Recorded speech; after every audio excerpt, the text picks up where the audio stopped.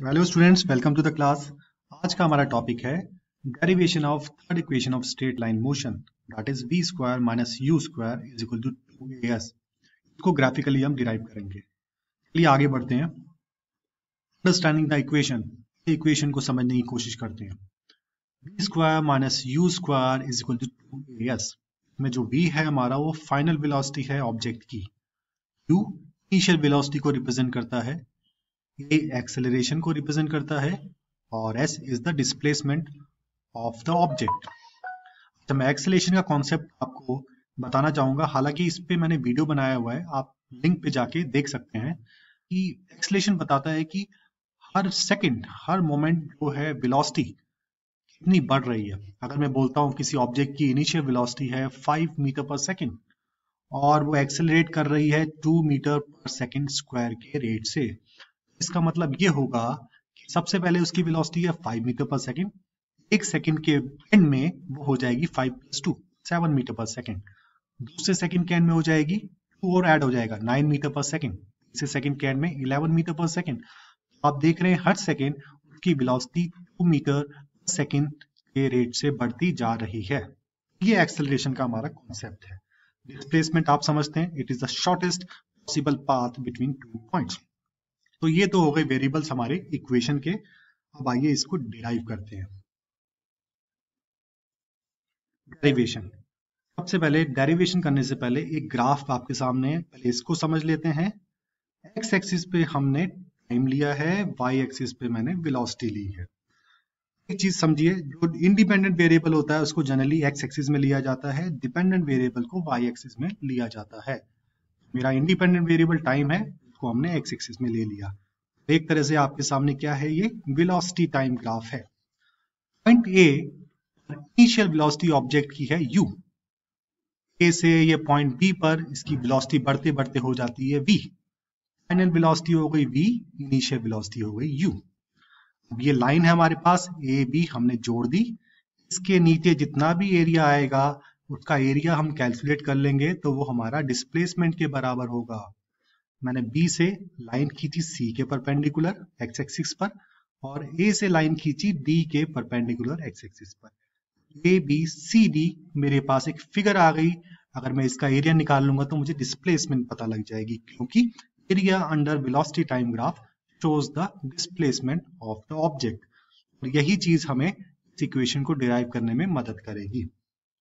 एक चीज़ समझिए, जो ए डी है वो बी सी के पैरेलल है बिकॉज़ डी भी 90 डिग्री है एक्स एक्सिस के बी सी भी 90 डिग्री है एक्स एक्सिस के। ए डी और बी सी आपस में पैरेलल हो गई। और एक चीज़ और समझिए, जब दो किसी भी फिगर में क्वाड्रिलेटरल में, चार साइड्स की जो फिगर होती है, अगर उसमें एक पेयर ऑपोजिट पेयर अगर पैरेलल होता है तो वो क्या कहलाता है? ट्रपीजियम कहलाता है। तो ये हमारा ए बी सी डी एक तरह से ट्रपीजियम हो गया। अगर मैं इस ट्रपीजियम का एरिया निकाल लेता हूँ और उसके को मैं डिस्प्लेसमेंट के बराबर इक्वेट कर देता हूँ तो मुझे इस इक्वेशन को निकालने में कुछ मदद मिलेगी। एरिया ऑफ़ ट्रिपीजियम होता है half into sum of parallel sides into height sum of parallel sides parallel sides हैं बीसी और एडी आपस में पैरेलल है। तो मैंने पैरेलल साइड्स का सम कर दिया बीसी प्लस एडी हाइट इनके बीच में परपेंडिकुलर डिस्टेंस है एई तो मैंने इसको एई लिख दिया। अब हम वैल्यू सब्सिट्यूट करते हैं। बीसी की जगह बी पुट कर दिया देखिए बीसी फाइनल वेलोसिटी हो गई। और u initial velocity that is जो एडी है हमारा यू हो गया। A perpendicular distance between two parallel lines that is BC और एडी के बीच में परपेंडिकुलर डिस्टेंस क्या है? ए ए जो है डीसी के इक्वल है because AD C is a rectangle तो अगर डीसी मेरा टी है तो ए भी मेरा टी हो जाएगा। यहाँ पे हमने टी पुट कर दिया। अब इतनी इक्वेशन हमारी बन गई है। अभी डिराइव नहीं हुई, लेकिन इंटरमीडिएट स्टेज पे हम पहुँच गए हैं। उसके बाद know that change in velocity with respect to time is the acceleration, ये हमें पता है। That is, final velocity minus initial velocity divided by time जो है, वो हमें acceleration, expression देता है।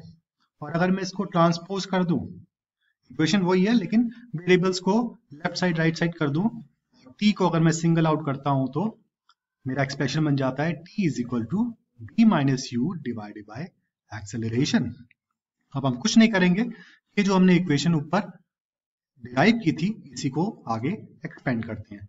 S is equal to half into v plus u उसको वैसे ही रहने देंगे। और टी की जगह देखिए टी की जगह हम v minus u upon a put कर देंगे। तो मैंने टी की जगह पुट कर दिया v minus u divided by a to denominator में है ये डिनोमिनेटर में है। इसको मैं लेफ़्ट हैंड साइड ले गया मल्टीप्लाई हो जाएगा ट्रांसपोज कर दिया हमने। मेरी फाइनल इक्वेशन बन गई two a s is equal to v plus u bracket में इंटू बी माइनस यू वो भी ब्रैकेट में।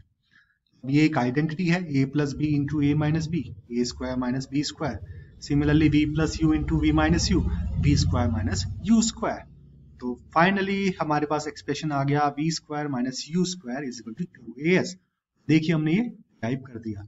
इस तरीके से हमने graphically third equation of motion को डिराइव कर दिया। अब इसको समराइज कर लेते हैं।